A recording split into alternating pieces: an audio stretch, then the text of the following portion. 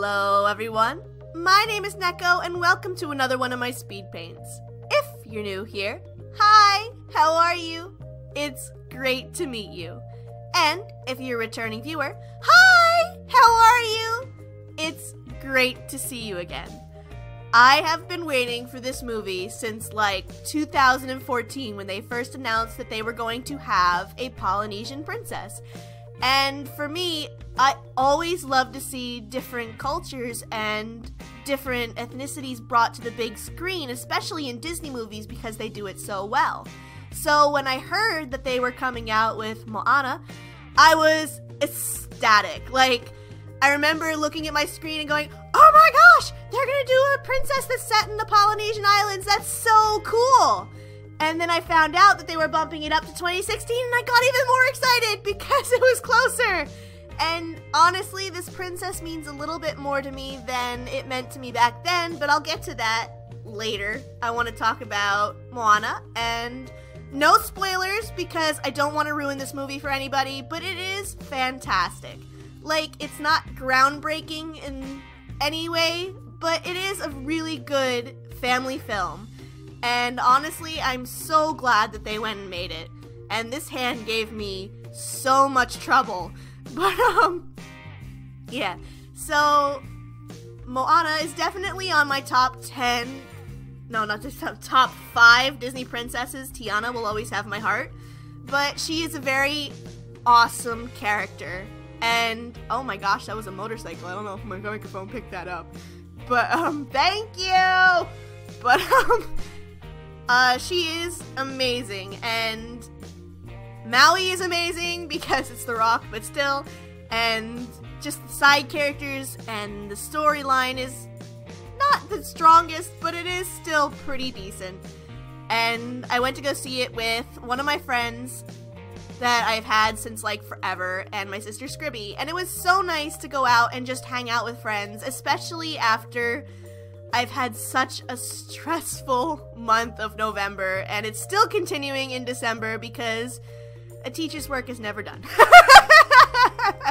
so, December is the worst because not only do you not want to be there, but your students don't want to be there, and you have to find a way to keep their interest and also, you know, keep them calm. So, it's a difficult balance in December to actually get what you want and to help your students actually learn something even though they don't want to. And sometimes you just have to let them go and let them play and just get out their energy. But um the reason why Moana is so special to me is well not particular to me, but because I am a teacher. I do have students that um, come from different family backgrounds and have different skin tones and different ways of looking at the world. And last year, I had a girl who was half Samoan. And she looks very Samoan. And she was upset because there were no Disney princesses that looked like her. Or no superheroes, or no characters, or no one that she could really relate to and it ended up with me actually creating a superhero that was set in Samoa for her that she could kind of look up to and make her own. And when I found out that Moana was coming out in 2016, she was still going to be in my center, so I was really excited and I started telling her about it, and she got really excited. And she went to see the movie before I did. And not only that, but she got to go to Disney World around the time that Moana's face character was coming around. And to see this girl who is five years old finally find someone that she could feel comfortable imitating and dressing up as and just finding someone that she could connect to is amazing because I'll never know that feeling of not having a Disney princess that I can relate to and look up to skin tone wise because I am white. But to find someone who finally sat there and said, There's someone that I can relate to. It was an amazing feeling because I know that she has someone that she can look at and say, I am beautiful. I can be a Disney princess too. It's an amazing feeling. Like, it's one of the reasons why I teach to see my kids experience the world and to relate to the world and find that they can do anything they set their mind to. And it's one of the pros of actually becoming a teacher. I mean, there's many pros to becoming a teacher and there's many cons, but that's one of my favorite pros.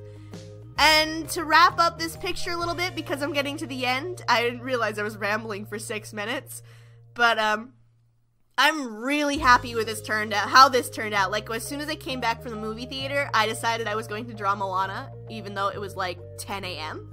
Or no, 10 p.m. So I stayed up until 2 in the morning to actually get this out.